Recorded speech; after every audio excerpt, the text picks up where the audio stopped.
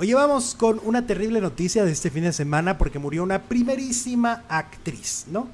Una actriz que eh, respetada en el mundo teatral sobre todo, hizo muchísimo teatro, pero también en la televisión. En la televisión hay muchas cosas que decir. Estamos hablando de Marta Aura. Eh, aquí la estamos viendo en pantalla. Ella nació el 4 de septiembre de 1939 y murió este fin de semana, el 8 de julio del 2022. Eh, Marta Aura fue una actriz mexicana con más de 60 años de trayectoria artística en teatro, cine y televisión. Nació en Ciudad de México. Y bueno, a lo largo de su carrera hizo muchísimas obras de teatro, muchísimas telenovelas. Este, entre el 2020 y el 2011 participó en telenovelas como Entre el amor y el deseo y películas como Arráncame la vida.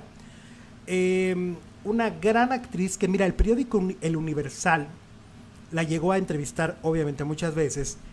Y, y, hacen un artículo muy interesante que dice, a Marta Aura ninguna gripa la detenía para actuar. El profesionalismo de Marta estaba a prueba de todo. Hizo su carrera principalmente en teatro, pero tuvo apariciones breves tanto en cine como en televisión. Coraje fue su primer y único protagónico.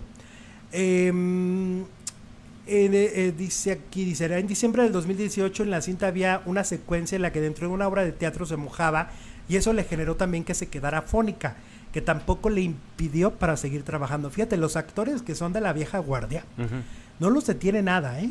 No, los detiene ni una gripe, ni una enfermedad, nada, nada, nada, nada, nada. Dice, todos nos apanicamos, le dijimos que descansara y ella dijo que no, que era la última semana de filmación. Faltaban unos tres o cuatro días y que cómo iban a parar y lo hizo. Era una súper profesional en toda la extensión de la palabra fue un honor trabajar con ella, contó la productora Samantha Guillén. Coraje se estrenó durante el pasado Festival Internacional de Cine de Guadalajara, que ahí es donde se cuenta esta anécdota. Una mujer, pues, que, como lo acabamos de decir, con una carrera brillante, pero con muchas ganas de seguir trabajando. Y bueno, pues en este momento, eh, pues ya no está con nosotros, pero deja un gran legado. Oye, pero el, su hijo está de, este, denunciando negligencia, o sea que no fue. Cuéntanos.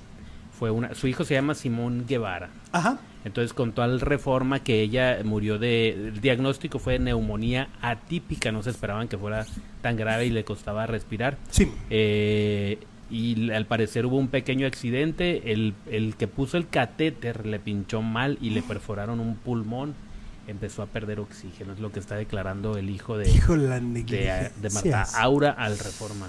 Fíjate qué complicado, ¿no? Que, que, con una negligencia hoy, hoy no tengamos a Marta Aura con, entre nosotros. Porque pues todavía no, era tan grande, ¿no? Entonces todavía tenía mucho que dar a la farándula y pues a su familia sobre todo. Pues la verdad, qué lamentable si esto sucedió y pues que se haga justicia para que ya no le pase a nadie más.